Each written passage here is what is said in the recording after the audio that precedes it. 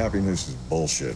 You think Picasso was happy? You think Hemingway was? No art worth a damn was ever created out of happiness, I can tell you that much.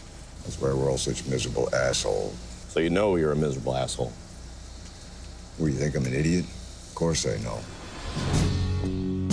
There's only one place left in the world that processes Kodachrome, and that's Dwayne's photo in Parsons, Kansas.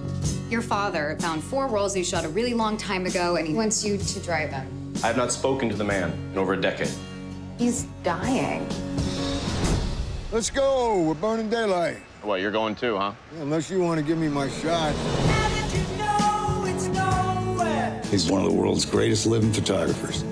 I remember every shot I've ever taken. You remember all of them, huh? Yep. When's my birthday? February 19th. February 19th. Man should know his father, no matter what kind of bastard he is. Merge onto I-80 West. Hand me that thing for a second, will you? What the hell are you doing? We're taking the scenic route. This was your room. yeah. You can tell a lot about someone's past from the music they listen to.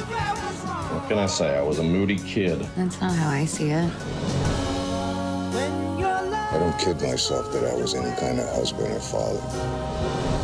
You must face yourself. Yeah, you've had a great big life. I remember better days. Nothing good comes from living the past. Given up on so much stuff in my life. I'm tired of doing it. Take pictures to stop time. Commit moments to eternity. Why'd you come on this trip? to see how you measure up against the colossal bastard I've hated all these years. How am I doing? You're holding your own. I remember better days.